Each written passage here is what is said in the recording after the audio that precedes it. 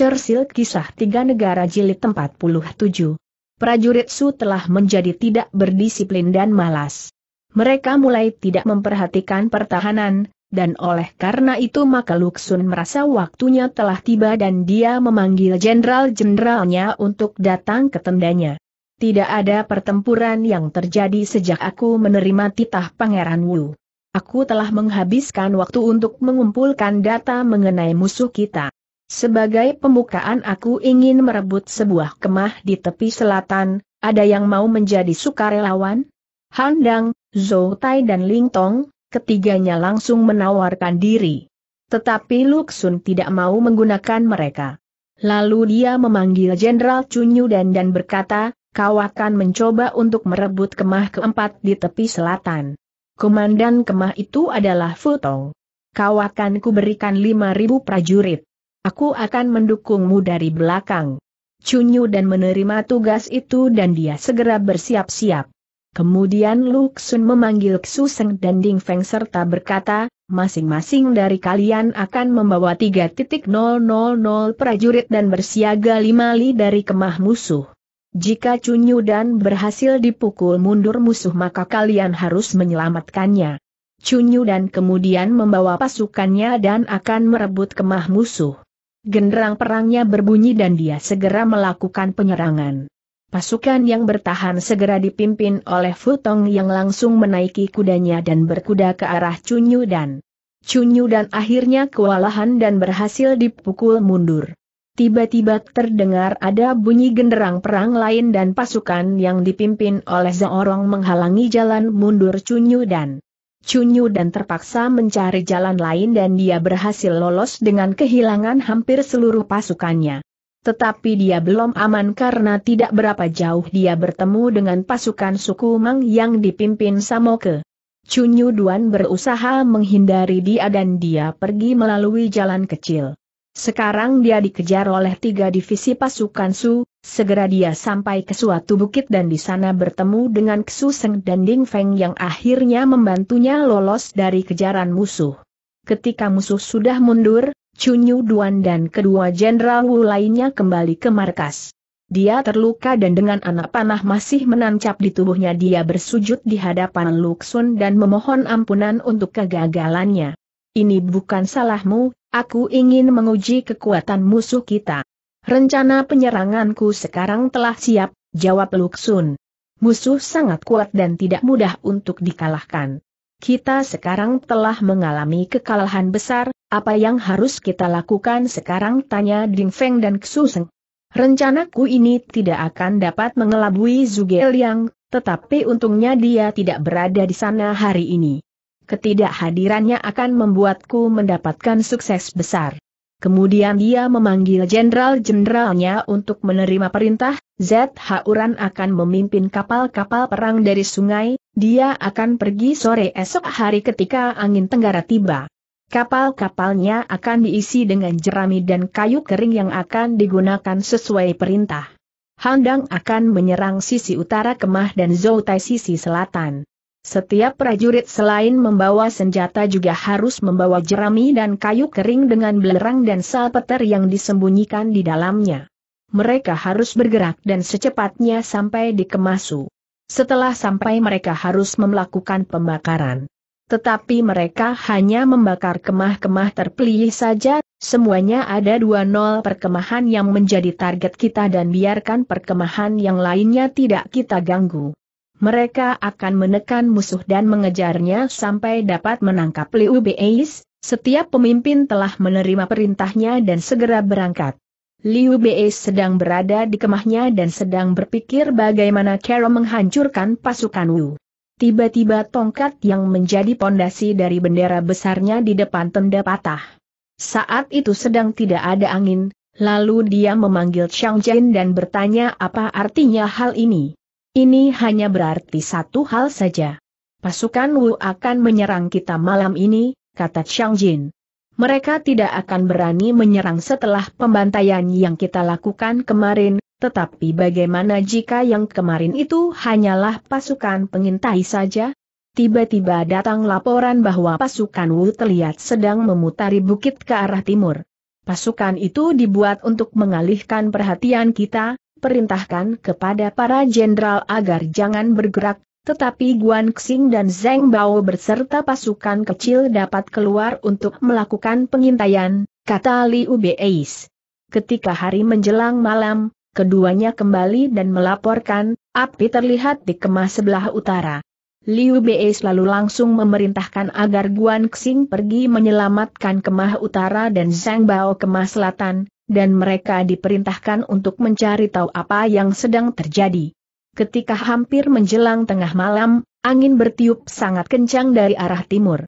Kemudian api membesar dari perkehaman di sebelah kiri dari kemah utama.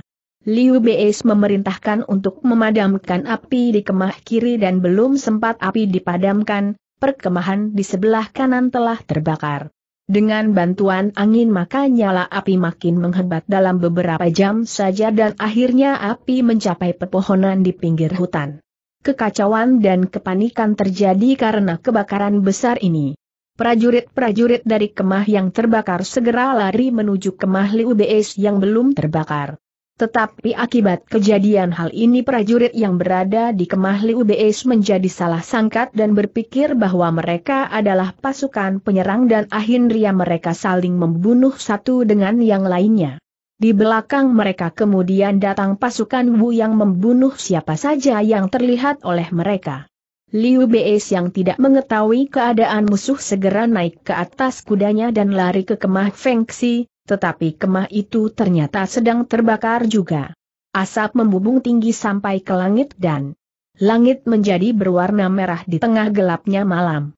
Malam itu kedua sisi sungai tampak sungguh terang sama seperti siang hari karena kebakaran besar ini. Feng Xi kemudian naik ke atas kudanya dan kabur diikuti oleh sisa-sisa pasukannya. Pasukan ini kemudian dihadang oleh pasukan Ksuseng dan pertempuran pun terjadi, Segera Liu Beis berkuda ke arah barat. Xu Seng lalu meninggalkan Feng Xi dan mengejar Liu Beis. Liu Beis kemudian bertemu dengan pasukan lainnya tetapi dia tidak dapat melihat pasukan siapakah itu dan dia menjadi khawatir dan mulai ketakutan. Ternyata pasukan itu dipimpin oleh Ding Feng dan Liu Beis sekarang terjepit di antara dua musuh. Dalam kepanikannya dia melihat tampaknya sudah tidak ada jalan keluar lainnya dan dia merasa ajal sudah menjelang. Tepat pada saat ini seseorang datang untuk menyelamatkannya dan dia adalah Zheng Bao yang membawa pasukan elit Su. Dia mengawal Liu Beis menuju tempat yang aman. Dalam perjalanan mereka akhirnya bertemu dengan pasukan Su lainnya yang dipimpin oleh Futong dan dia pun mengabungkan kekuatannya dengan Liu Beis. Pasukan Wu tetap mengejar dari belakang sampai ke sebuah bukit di mana di sana Zhang Bao dan Futong meminta agar Liu Bei segera pergi ke atas bukit dan segera lari seorang diri serta menyelamatkan diri. Segera Luxun dengan pasukannya tiba dan mengepung bukit itu. Zhang Bao dan Futong bertahan mati-matian hanya dengan seribu prajuritnya untuk menahan agar pasukan Wu tidak dapat menaiki bukit. Dari atas puncak bukit itu, Liu Beis dapat melihat api membakar semua perkemahannya dan Liu Beis menyaksikan mayat-mayat prajurit duanya bergelimpangan dan bertumpuk-tumpuk atau mengapung di sungai. Zhang Bao dan Futong bertempur sampai keesokan paginya dan pasukan Wu belum berhasil melewati mereka. Akhirnya pasukan Wu menembakkan panah api ke arah bukit itu dan membakar sekeliling daerah itu. Banyak prajurit Su yang panik dan melarikan diri, yang lainnya tewas terbakar. Liu Bei sekarang sudah sangat terdesak, tetapi tiba-tiba dia melihat seorang jenderal dengan hanya membawa satu dua prajurit berkuda saja segera membantai pasukan Wu yang mengepung bukit dan naik ke atas bukit menemuinya. Setelah cukup dekat, Liu Bei mengenalinya dan dia adalah Guan Xing.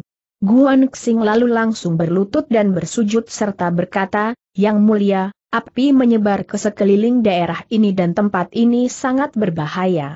Aku mohon kau segera pergi ke Bai Diceng dan aku akan mencoba menahan mereka selama mungkin aku bisa.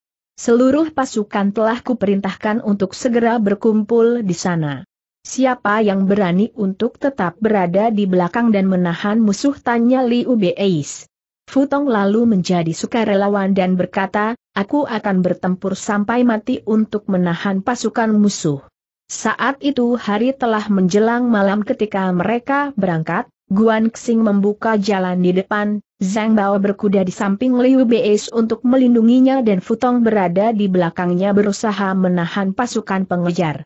Mereka akhirnya berhasil dengan selamat mengawal Liu Beis keluar dari kepungan Wu di bukit itu. Segera pasukan Wu lainnya yang mengetahui bahwa Liu Beis telah pergi dari bukit itu menyatukan diri dengan pasukan Luxun dan mengejarnya masing-masing memiliki ambisi untuk menangkap Liu Beis dengan tangannya. Pasukan besar Wu seperti turun dari langit segera memenuhi bumi dan mereka pergi ke barat. Langkahnya mengetarkan bumi dan teriakan mereka menguncang langit. Liu Beis memerintahkan agar prajuritnya membakar seragam dua mereka dan barang-barang lainnya untuk menghindari pengejaran. ZH Uran segera berlayar dari arah sungai untuk memotong jalur pelarian Liu Beis dan suara dari genderang perangnya sangat menakutkan. Liu Beis berpikir bahwa tidak ada harapan lagi untuk kabur dan berkata, inilah akhirnya. Edwal keponakannya bersama kurang dari seratus prajurit berkuda segera berusaha menerobos kepungan itu, tetapi mereka kembali dengan terluka dan berdarah-darah dan suara teriakan dari pasukan pengejar terdengar di belakang mereka. Ketika hari menjelang pagi tampaknya keadaan semakin kritis tetapi kemudian mereka melihat bahwa pasukan ZH Uran menjadi kacau dan berantakan. Banyak dari pasukan ZH Uran melompat ke dalam sungai dan kapal-kapal perang ZH Uran mulai berbalik arah. Segera alasan mengenai hal ini diketahui. Seorang jenderal gagah berani memimpin sepuluh ribu prajurit menyelamatkan tuan mereka. Sekali lagi Liu Beis diselamatkan dari keadaan terdesak dan kali ini penyelamatnya adalah Zhao Yue. Dia sedang berada di perbatasan Qingzhou ketika mendengar berita kekalahan Liu Beis. Dia segera membawa pasukannya untuk membantu dan kebetulan melihat nyala api di langit dan dia kemudian membuat rencana untuk mengamankan jalan mundur Liu Beis. Dan dia tiba di saat yang tepat dan menyelamatkan tuannya itu dari keadaan kritis.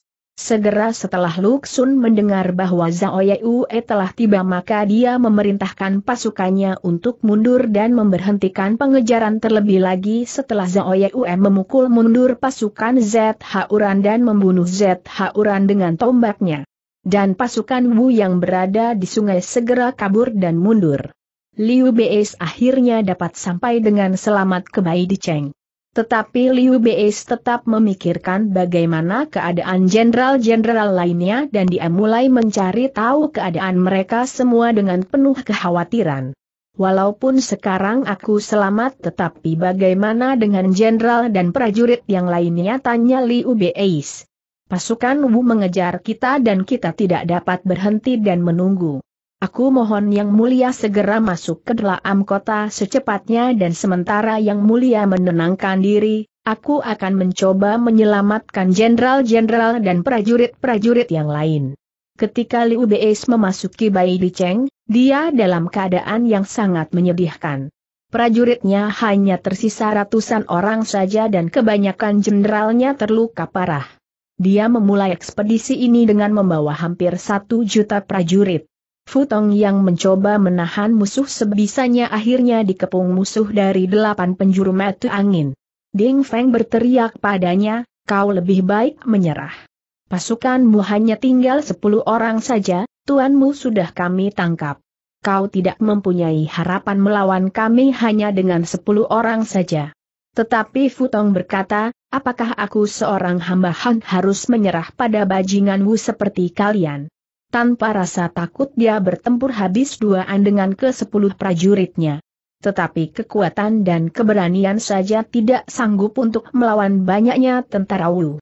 Dia tetap bertempur DGN gagah berani walaupun belasan panah telah menancap di tubuhnya dan tusukan tombak serta tebasan pedang telah melukai seluruh tubuhnya. Akhirnya Futong tak dapat bertahan lagi dan jatuh ke tanah, dia tewas di antara prajurit duanya. Menteri Chang Jin setelah berhasil keluar dari pertempuran segera berkuda ke tepi sungai dan memanggil pasukan angkatan laut untuk segera turun dan membantu.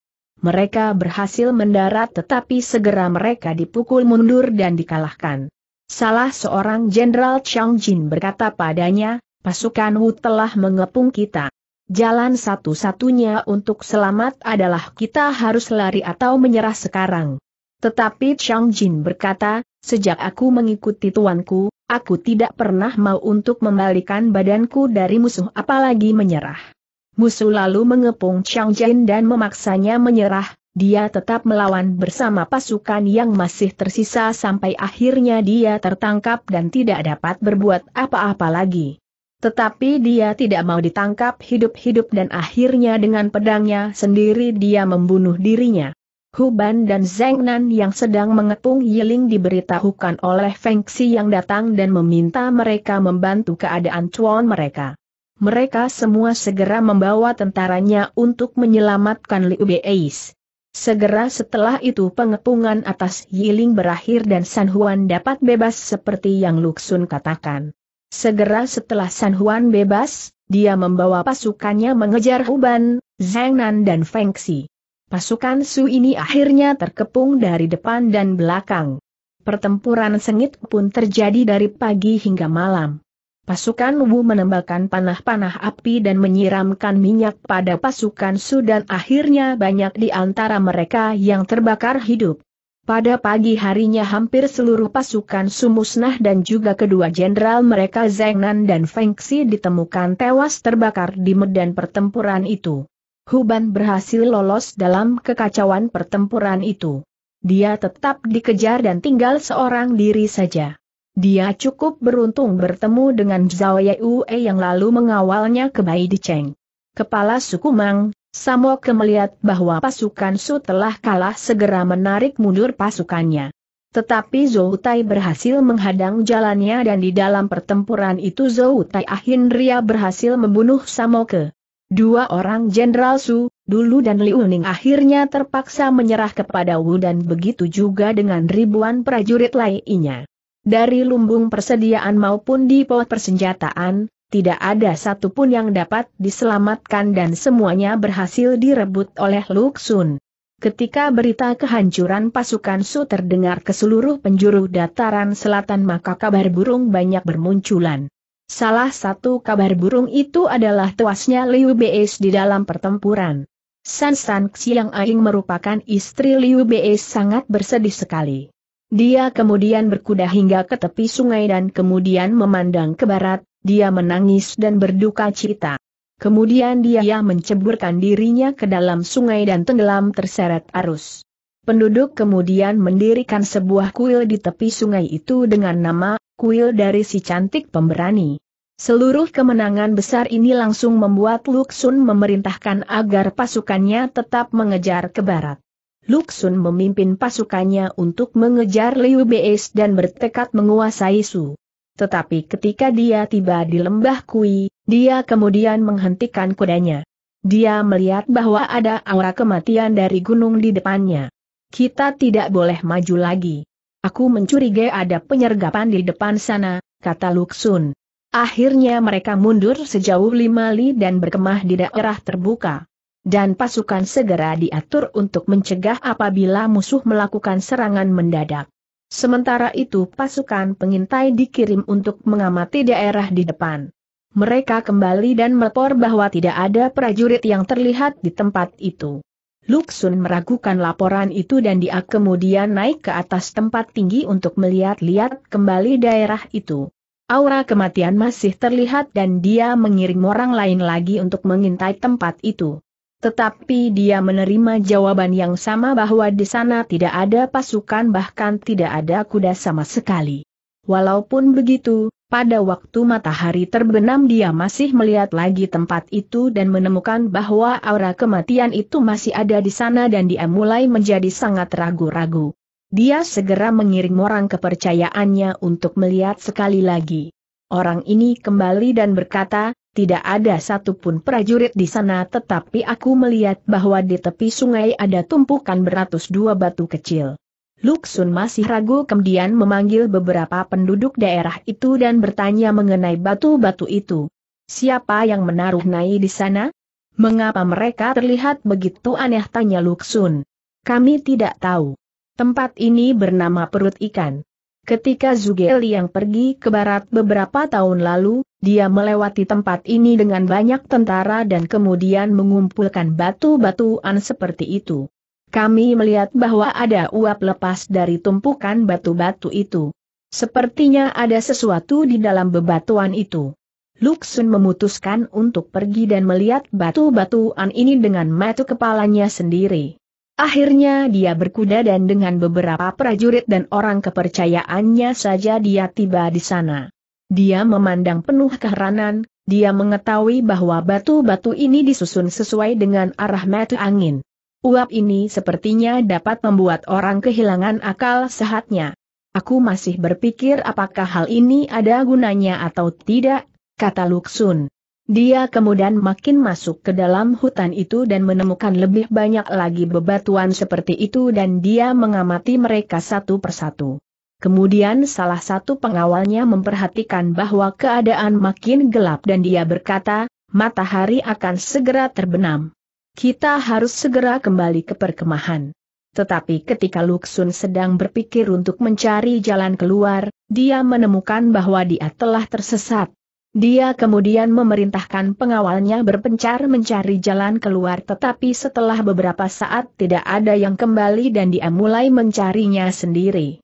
Tiba-tiba ada angin malam bertiup dan uap dua tadi makin banyak keluar dari bebatuan itu dan menimbulkan halusinasi hebat. Luksun merasa banyak debu berterbangan ke arahnya dan batu-batuan itu menjadi pedang debu-debu yang berterbangan seperti air ombak yang besar dan akan segera menenggelamkannya. Bunyi ombak air sungai seperti bunyi genderang perang yang maha dahsyat. Luksun segera berkonsentrasi agar dia tidak kehilangan akal sehatnya, dia berkata dalam hatinya dengan suara ketakutan, ini pasti salah satu trik Zugeliang dan aku telah terperangkap di dalamnya. Dia berhasil menjaga kesadaran dan akal sehatnya tetapi tetap tidak dapat menemukan jalan keluarnya. Ketika dia berhenti sesaat untuk memikirkan apa yang harus dilakukannya tiba-tiba seorang tua muncul di depannya. Orang tua itu berkata, apakah Tuan Jenderal ingin keluar? Aku sangat berharap kau dapat menunjukkan jalan itu, ketua, jawab Luksun. Dengan mengenakan tongkatnya, orang tua itu segera menunjukkan jalan dan dengan penuh hormat dia mengantarkan Luksun keluar. Dia tidak kesulitan mencari jalan keluar dari tempat itu dan tidak pernah berhenti untuk berpikir di tiap persimpangan yang dilalui. Ketika mereka telah sampai lagi di tepi sungai, Luksun bertanya mengenai diri orang tua itu. Aku adalah mertua Zugeliang. Namaku adalah Wong Cenyan. Menantuku itu menempatkan tumpukan dua batu ini seperti yang kau lihat dan dia berkata bahwa tumpukan ini adalah representasi dari Pagua. Mereka seperti delapan gerbang yang dinamakan, gerbang isi tirahat, gerbang kehidupan, gerbang luka, gerbang kehancuran, gerbang kemungkinan, gerbang kematian, gerbang kejutan dan gerbang terbuka. Mereka memiliki mutasi tak terhingga dan setara dengan seratus ribu prajurit. Ketika dia pergi, dia memberitahukan pada kami bahwa jika ada pemimpin Wu yang melewati tempat ini maka aku tidak boleh membimbingnya keluar. Dari pengamatanku, Jenderal, kau masuk melalui gerbang kematian. Seperti yang kuduga kau tidak mengetahui mengenai prinsip pagua ini dan aku tahu kau akan mati. Tetapi aku melihat kau mampu bertahan dan aku menjadi tidak tega melihatmu tersiksa seperti itu tanpa ada kemungkinan selamat. Jadi aku datang untuk membimbingmu keluar melalui gerbang kehidupan. Apakah kau juga mempelajari teknik ini, Chuan tanya Luksun. Variasinya tidak ada akhirnya dan aku tidak dapat mempelajari seluruhnya. Luksun segera turun dari atas kudanya dan dia bersujud kepada orang tua itu dan kemudian berpamitan setelah mengucapkan terima kasih. Luksun segera kembali ke kemah dan dia berpikir lama sekali.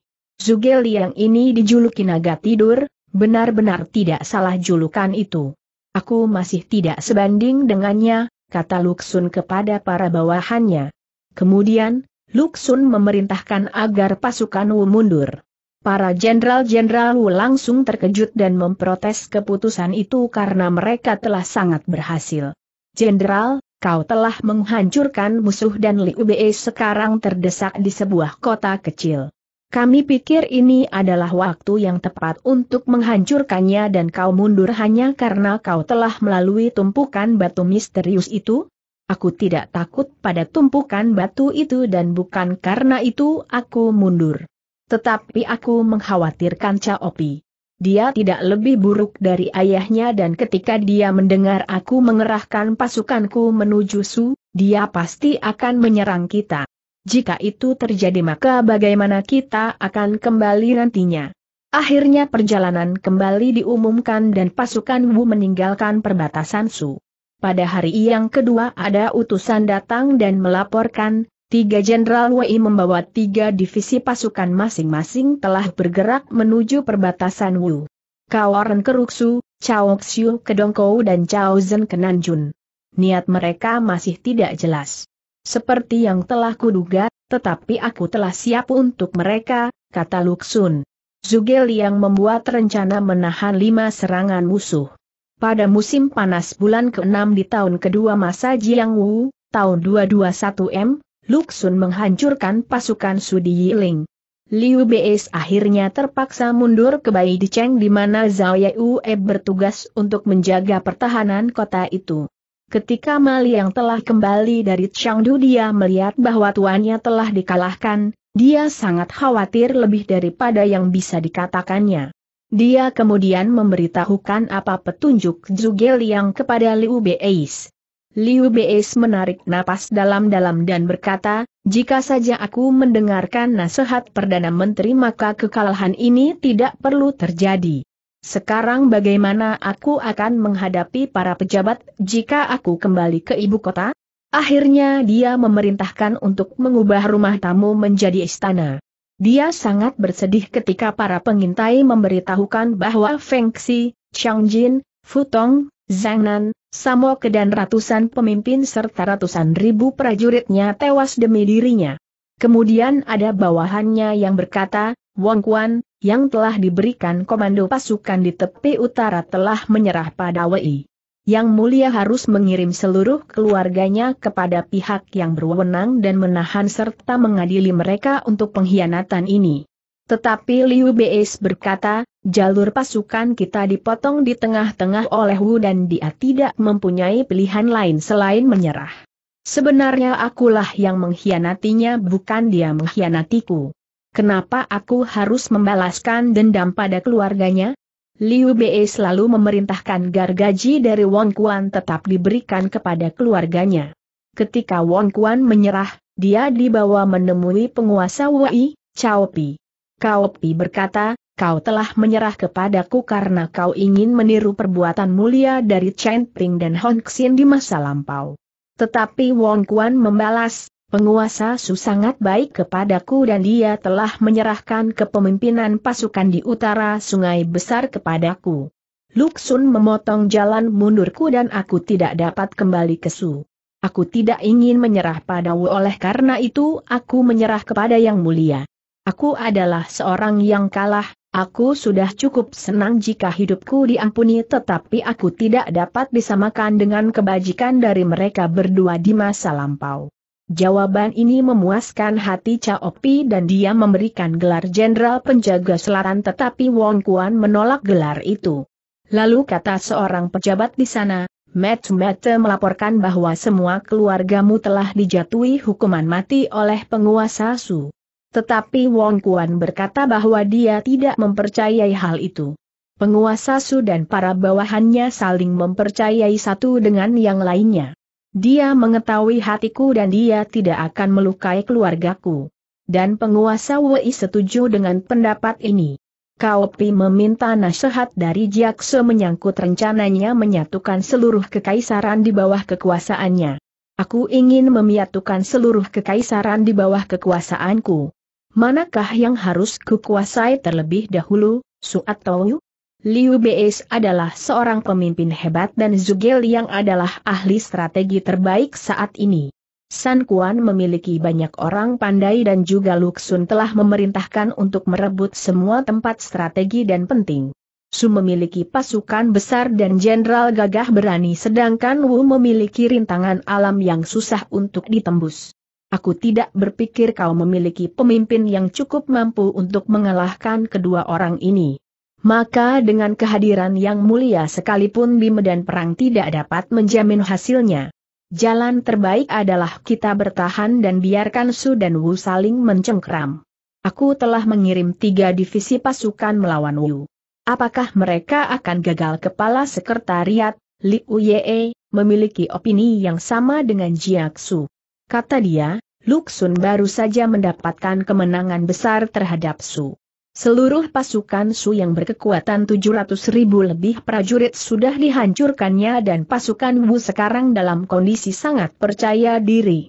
Lebih lagi, di sana ada danau dan juga sungai yang merupakan rintangan alam yang sulit dilalui.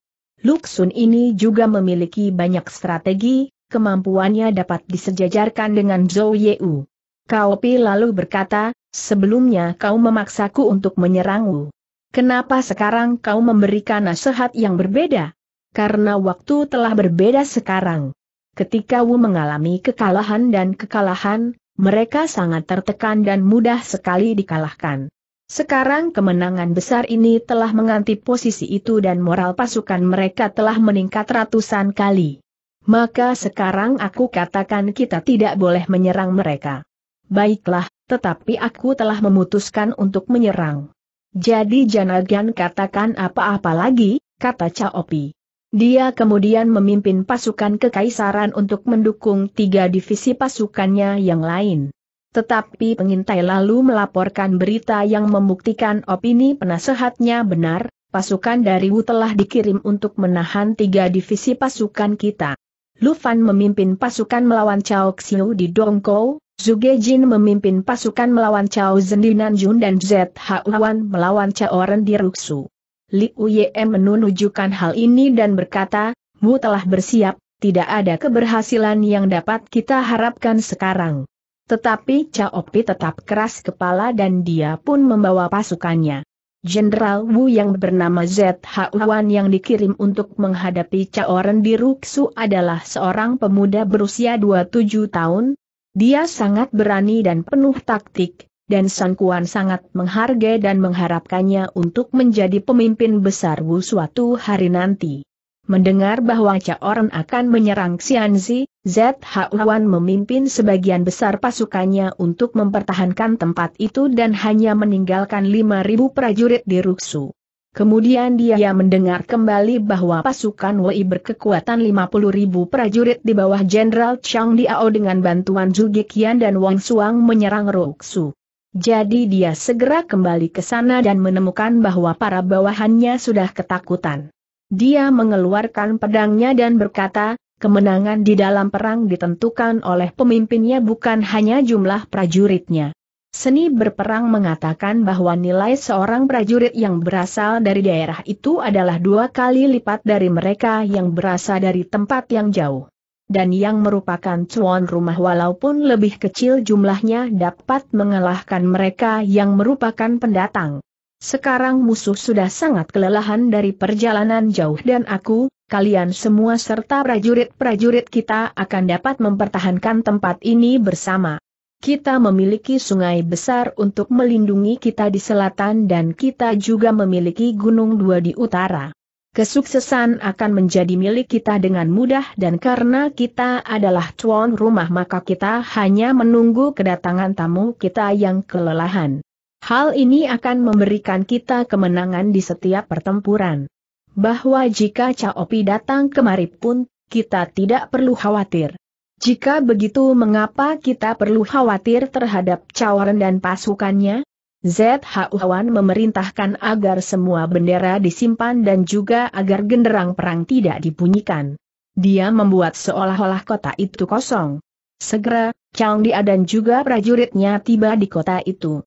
Tidak tampak satu prajurit pun berjaga di atas benteng dan dia segera maju ke depan secepat mungkin untuk melihat lebih dekat. Tetapi ketiak dia telah dekat dengan kota, tiba-tiba bunyi ledakan terdengar dan ZH Wan muncul bersama. Pasukannya membawa banyak panji-panji perang dan bendera-bendera bermunculan di gerbang kota. ZH Wan langsung memacu kudanya ke arah Chang Diao. Hanya dibutuhkan tiga jurus saja sebelum akhirnya ZH Wan membunuh Chang Diao dan pasukan Wu akhirnya menyerang keluar membunuh banyak sekali prajurit Wei. Selain mendapatkan kemenangan besar, ZH Wan juga mendapatkan banyak kuda dan senjata musuh.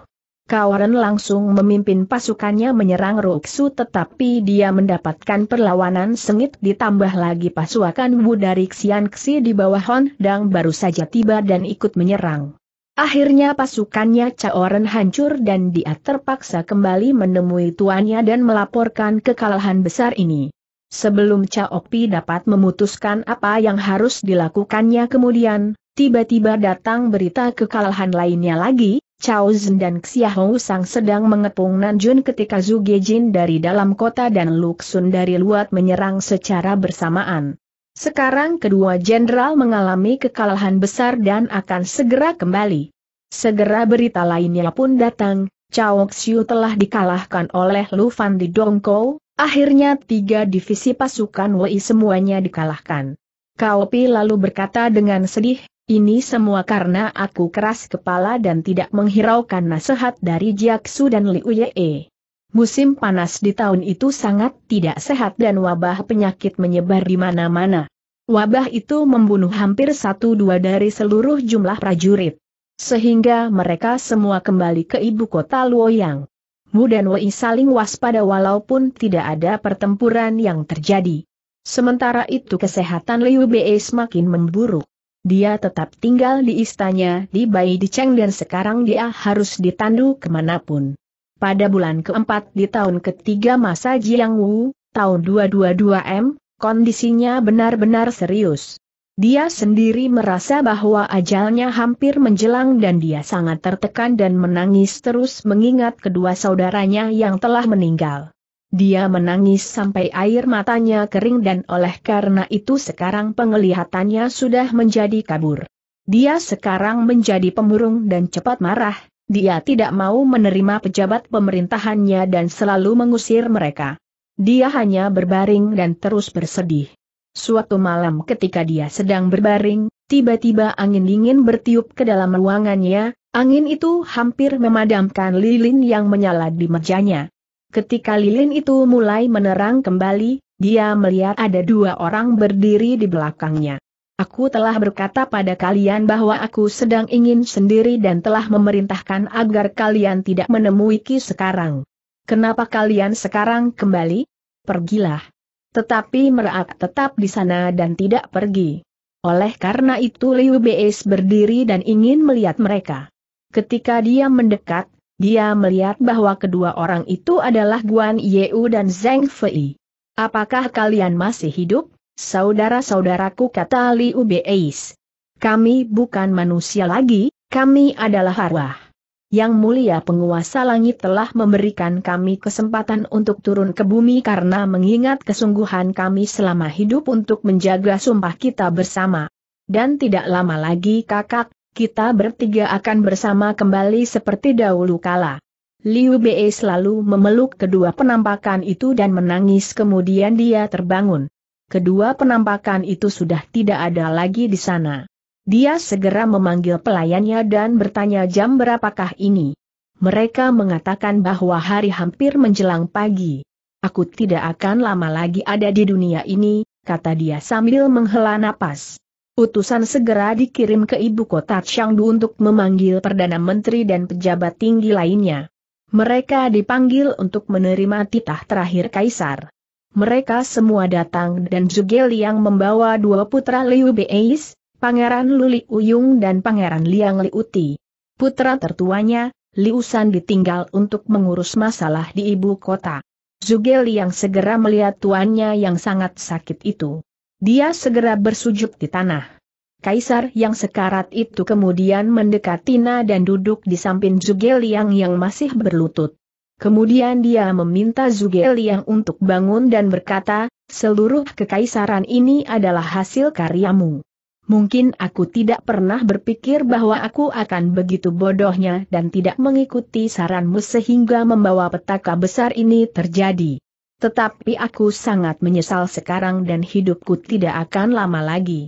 Pewaris takhtaku tidak memiliki kemampuan tetapi aku harus meninggalkan kepadanya untuk melakukan yang terbaik yang dapat dia lakukan dengan warisan besar ini.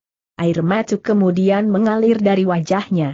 Aku percaya yang mulia akan memenuhi harapan semua orang dan dapat sembuh dengan cepat, kata Zugeliang yang juga mengeluarkan air mata. Membalikan kepalanya Liu Beis melihat Maksu, adik Mal yang di samping ranjangnya dan memintanya untuk pergi.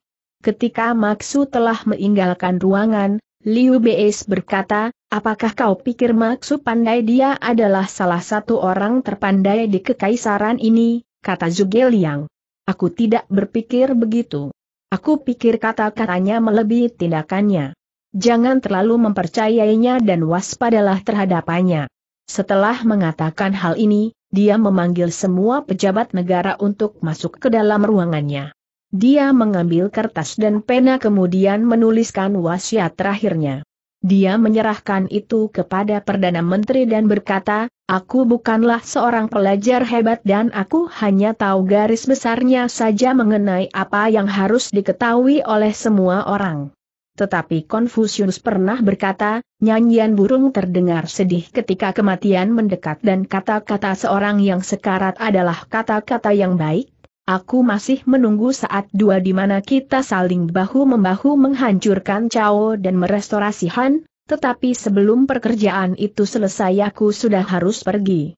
Dan ini adalah perintahku yang terakhir yang kuberikan kepadamu Perdana Menteri. Kau harus menjaga anak-anakku dan juga pewarisku, Liusan. Kata-kataku harus kau anggap serius dan aku percayakan kepadamu bahwa kau akan menasehati dan membimbing putra duaku. Zugeliang dan mereka semua yang hadir mengeluarkan air mata dan bersujud serta berkata, kami harap Yang Mulia beristirahat. Kami akan melakukan yang terbaik untuk membuktikan rasa terima kasih kami atas kebaikan yang telah kami terima. Atas perintah Liu Beis, seorang pelayan meminta Zugeliang untuk bangun. Dengan satu tangannya mengusap air mata dari wajah Zugeliang dan tangan lainnya memegang tangan Zugeliang dia berkata, ajalku sudah menjelang, aku memiliki sesuatu lagi untuk kukatakan, mendekatlah. Ada titah apakah yang mulia ingin berikan tanya Zugeliang. Sambil berbisik Liu Beis berkata, kau ratusan kali lebih pandai dari Caopi dan Sangkuan, dan kau harus mempertahankan dinasti Han ini serta menyelesaikan rencana besar kita. Jika putraku dapat kau bantu maka bantulah dia. Tetapi jika dia terbukti tidak mampu maka bunuhlah dia dan rebutlah takhta serta jadilah kaisar. Kata-kata itu langsung mengejutkan Zugeliang dan dia seperti kehilangan nyawanya. Keringat dingin langsung keluar dari tubuhnya dan terasa seperti jantungnya berhenti berdetak. Dia langsung bersujud dan berkata, aku tidak dapat melakukan hal lainnya selain membantu putramu yang akan aku layani sampai aku mati. Dia lalu bersujud ke tanah sampai dahinya mengeluarkan darah. Liu Bei selalu memanggil Zugeli yang mendekat dan pada saat yang sama kedua anaknya juga disuruh mendekat, Anakku, ingatlah kata-kata ayahmu ini. Setelah kematianku kau harus memperlakukan Perdana Menteri seperti kau memperlakukan ayahmu sendiri dan kalian harus patuh karena dengan begitu kalian akan memenuhi harapan ayahmu ini. Dia memerintahkan kedua pangeran untuk bersujud kepada Zugeli yang selayaknya kepada seorang ayah kata Zugeliang, bahkan jika aku dihancurkan menjadi tanah, aku tidak akan dapat membayar kebaikan yang telah aku rasakan selama ini. Lalu Liu Beis berkata pada para pejabat yang berkumpul di sana, seperti yang kalian lihat, aku telah menyerahkan anak-anakku kepada penjagaan Perdana Menteri dan memerintahkan kepada mereka untuk memperlakukan Perdana Menteri seperti ayahnya sendiri. Kalian juga, Chuan Tuan, harus memperlakukan Perdana Menteri dengan penuh hormat seperti kalian hormat kepadaku. Ini adalah titahku yang terakhir kepada kalian semua. Lalu kepada Zhao Yeu dia berkata, sahabatku, Kau dan aku telah melalui banyak sekali rintangan dan bahaya. Sekarang saatnya kita berpisah. Aku harap kau tidak melupakan persahabatan kita ini dan kau harus menjaga bahwa putraku akan mengikuti langkah duaku. Aku tidak akan berani memberikan yang lain kecuali yang terbaik. Kesetiaan seekor anjing dan kuda adalah apa aku berikan kepadamu dan sekarang akan menjadi milik mereka, kata Zhao Yue.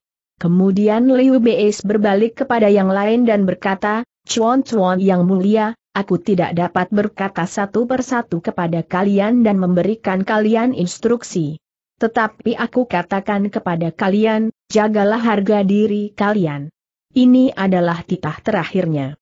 Dia kemudian pingsan dan kembali di bawah ke tempat tidurnya, tak berapa lama kemudian dia mengigau, adik, akhirnya.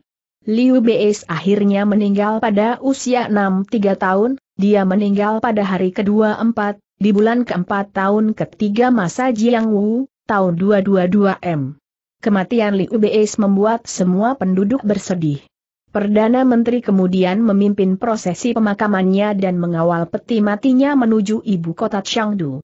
Pewaris takhta, Liu San datang menyambut di batas kota selayaknya seorang anak yang berbakti harus melakukannya. Peti mati Liu Beis diletakkan di ruang agung di Istana Chengdu, di sana para pejabat dan bangsawan memberikan penghormatan terakhirnya dan upacara pemakaman segera dilakukan di hari yang sama. Pada akhir upacara ini, surat wasiatnya segera dibuka dan isinya adalah sebagai berikut.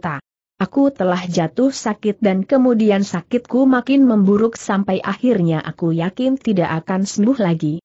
Mereka berkata bahwa kematian di usia 50 tahun tidaklah terlalu cepat. Sekarang aku telah berusia lebih dari 60 tahun sehingga aku tidak merasa menyesal dan takut. Tetapi ketika aku memikirkan kalian anak-anakku, aku menyesal belum mengajarkan banyak hal pada kalian. Sekarang, aku katakan pada kalian, kalian harus berjuang dan berjuang lagi. Jangan lakukan kejahatan walaupun itu adalah kesalahan yang kecil saja. Jangan kau tidak hiraukan pahala kecil walaupun itu hanyalah pahala yang kecil saja. Hanya dengan kebijaksanaan dan kebajikan maka hati rakyat dapat dimenangkan. Tetapi kebajikan ayahmu ini hanyalah hal kecil dan kalian janagan mengikutinya. Setelah kematianku kalian harus menjalankan urusan pemerintahan dengan Perdana Menteri. Kalian harus memperlakukannya selayaknya dia adalah ayah kalian dan kalian harus melayani dia dengan patuh. Kalian semua harus selalu meminta nasihatnya dan instruksinya untuk semua hal yang menyangkut masalah negara. Ini adalah titah terakhirku yang kuharap cukup mudah kalian mengerti. Ketika pejabat selesai membacakan hal ini, Zugeli yang berkata, negara tidak mungkin satu hari saja tanpa pemimpin. Oleh karena itu aku mohon kalian semua untuk segera menempatkan pewaris takhta Han untuk segera melanjutkan garis kekaisaran kita ini. Segera upacara dilakukan dan kaisar yang baru itu duduk di singgasana. Masa pemerintahan diubah menjadi Jian Xing, awal kemakmuran, tahun 1, tahun 222 M. Zugel yang diangkat menjadi bangsawan Wuxiang dan pelindung kekaisaran wilayah Yizhou, dia menguasai keenam provinsi Su dengan tujuh dua kotanya serta membawahi delapan divisi pasukan Su yang berjumlah 500 ribu prajurit. Dia juga diangkat menjadi kepala administrator negara dan juga instruktur militer. Mereka memakamkan Liu Beis di Huiling dan memberikannya gelar Zaoli di kepada Liu Beis. Permaisuri Wu diangkat menjadi Ibu Suri Wu dan almarhum Permaisuri Gan serta Mi diberikan gelar serupa. Seluruh pejabat berjasa mendapatkan promosi dan gelar juga. Amnesti umum diberikan dan seluruh penduduk bersuka cita. Hal ini lalu segera diketahui oleh penguasa Wei di Luoyang. Cha Opi merasa lega atas kematian Liu Beis dan berkata, Liu Beis telah meninggal dan aku tidak perlu khawatir lagi. Sebuah serangan pada saat ini akan dapat memberikan kemenangan besar dan Su akan segera kukuasai. Tetapi Jiaksu menasehatinya dan berkata, Liu Bei telah tiada, tetapi dia pasti mempercayakan urusan negara pada Zugeli yang yang telah sangat berhutang kebaikan padanya. Zhuge Liang pasti akan mengerahkan seluruh kemampuannya untuk mendukung tuan mudanya. Kau tidak boleh tergesa-gesa menyerang. Ketika Jiaksu berbicara seperti itu, seseorang tiba-tiba berkata dengan keras, jika kau melewatkan kesempatan ini, dapatkah kau harapkan kesempatan yang lebih baik? Semua mata memandang dia yang berbicara. Dia adalah Sima Yei. Interupsi itu menyenangkan hati Caopi yang segera bertanya apa yang harus dilakukan. Sima Yei lalu mengusulkan sebuah rencana, akan sangat sulit untuk mendapatkan keberhasilan dengan sumber daya kita saja. Oleh karena itu kita akan menggunakan lima pasukan dan menyerang Su pada saat yang bersamaan. Hal ini akan membagi perhatian Zhuge Liang. Dari mana kelima pasukan ini akan berasal tanya Caopi. Sima Ye lalu melanjutkan, yang pertama didapat dari Liao Dong, dari suku Xianbi. Kau tulislah surat kepada Raja Kebineng dan kirim juga hadiah-hadiah berupa sutra dan emas.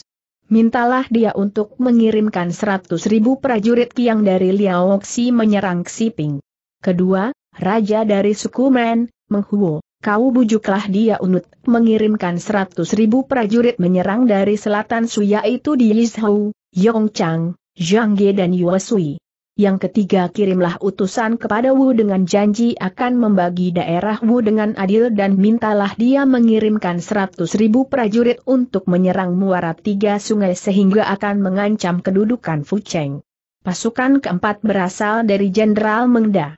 Dishang Yong. Dia akan membawa seratus ribu prajurit menyerang Hanzhong dan yang terakhir pasukan kita sendiri berjumlah seratus ribu prajurit akan dipimpin oleh Chao Zhen yang akan menyerang Yang Ping.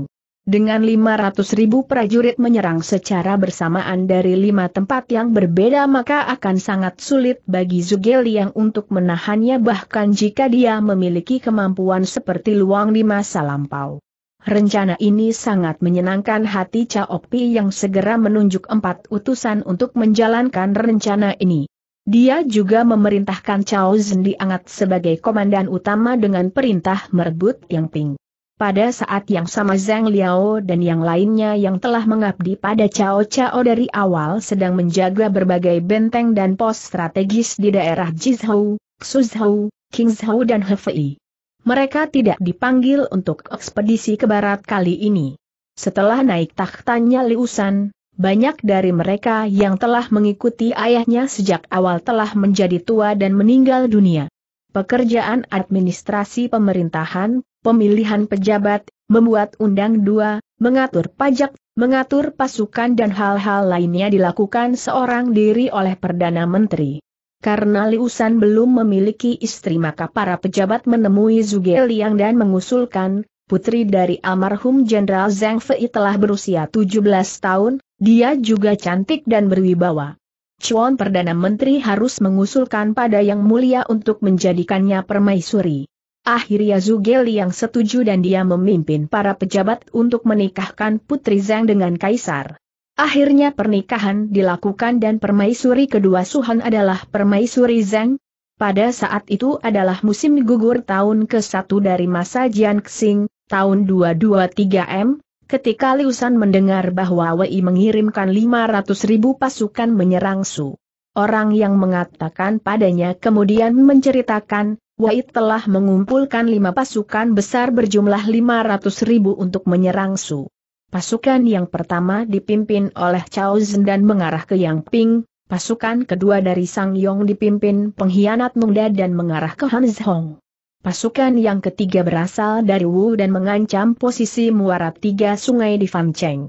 Pasukan keempat berasal dari suku yang dipimpin oleh Raka Kebineng dan mengarah ke Xiping.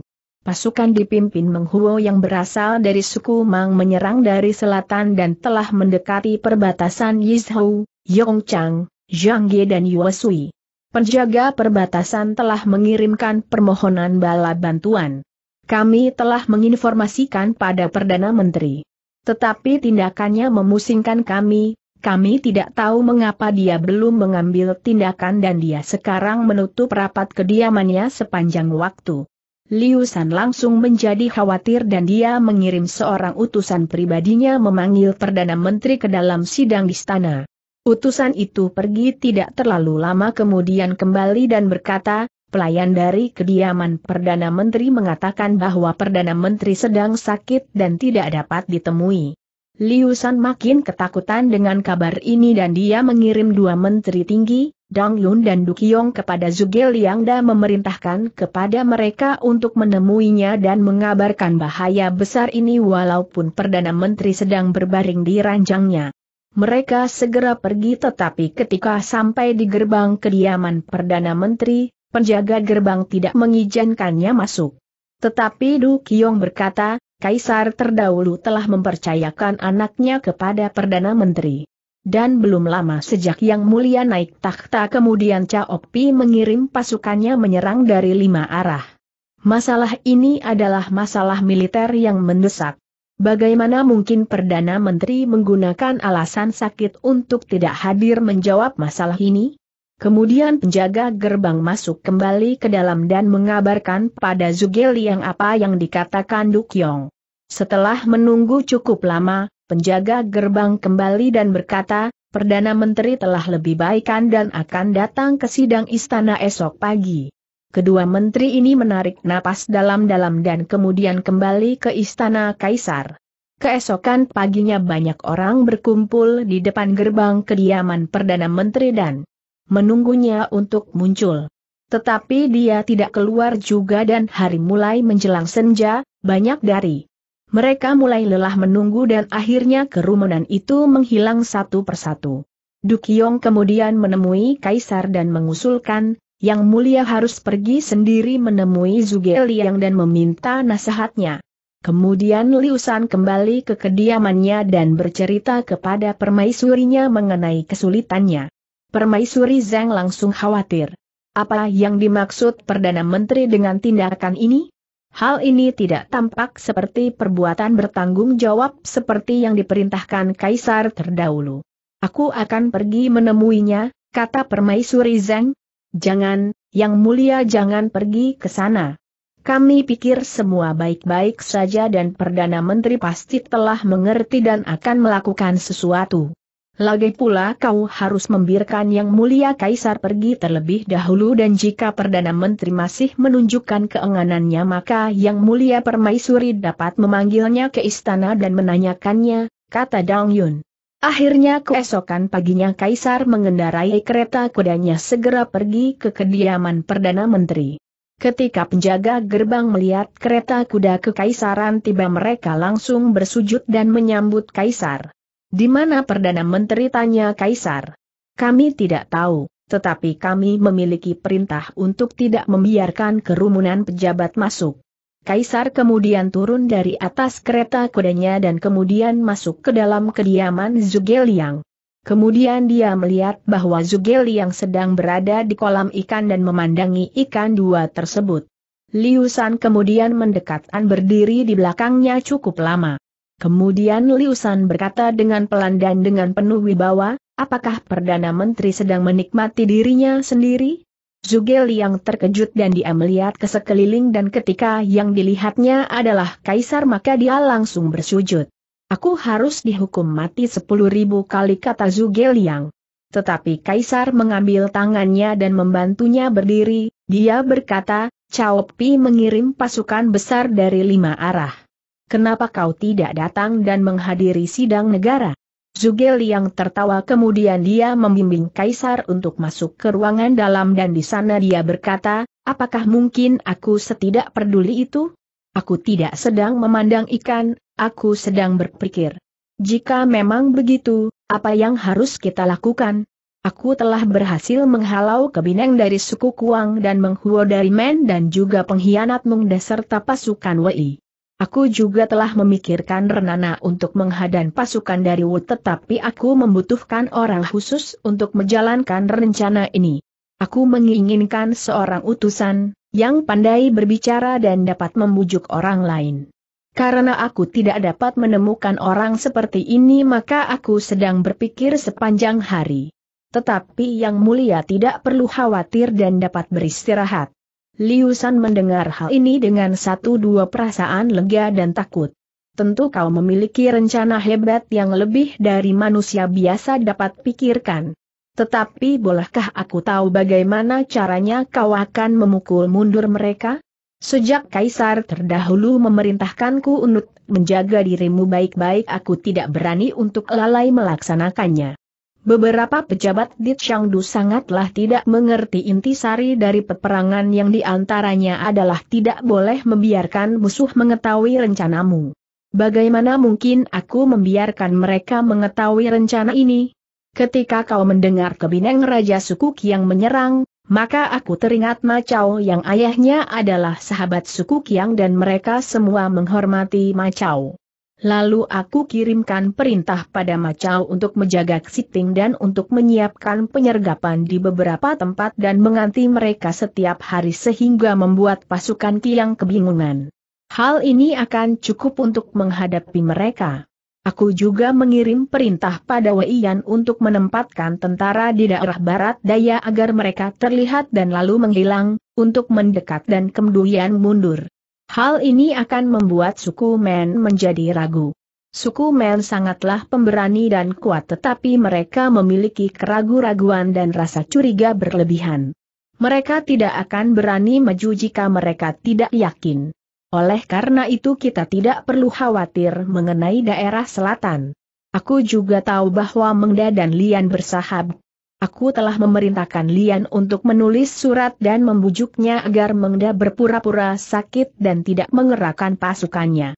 Aku juga mengirim Zhao Yeu untuk menjaga Yang Ping dan menempatkan pasukannya pada titik dua strategis di mana Chao Zeng akan melewati tempat itu. Aku perintahkan dia untuk bertahan dan tidak keluar menyerang. Jika pasukan kita menolak bertempur maka Chao Zeng akan mundur dengan sendirinya. Keempat titik penyerangan telah aku amankan. Tetapi untuk agar yakinnya aku menempatkan Zheng Bao dan Guan Xing masing-masing membawa 30.000 prajurit untuk berjaga di suatu titik di mana mereka dapat membantu siapa pun yang memerlukannya.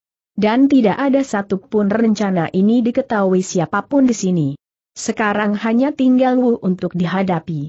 Jika keempat pasukan yang lain berhasil dan Su terancam maka Sang Kuan pasti akan menyerang. Jika yang lainnya gagal, aku tahu dia tidak akan bergerak karena dia masih ingat bahwa Caopi baru saja mengirimkan tiga divisi pasukan untuk menyerangnya. Dan jika memang begini, aku membutuhkan seseorang dengan lidah yang dapat membujuk dan memiliki pikiran yang jenius untuk berbicara pada sangkuan. Sejauh ini aku belum menemukan orang seperti itu dan aku sedang bingung. Aku meneisal telah membuat yang mulia khawatir sehingga telah jauh-jauh datang kemari. Ibu Suri dan Permaisuri juga mau datang, tetapi karena kau telah menjelaskannya padaku maka aku seperti orang baru terbangun dari mimpi buruk. Aku tidak akan khawatir dan bersedih lagi. Keduanya minum arak bersama dan Perdana Menteri kemudian membimbing Kaisar kembali ke kereta kudanya. Sekumpulan pejabat menanti dan mereka melihat bahwa wajah Kaisar telah kembali ceria. Liu San kemudian kembali ke istananya dan para pejabat tidak mengetahui apa yang ada di pikirannya.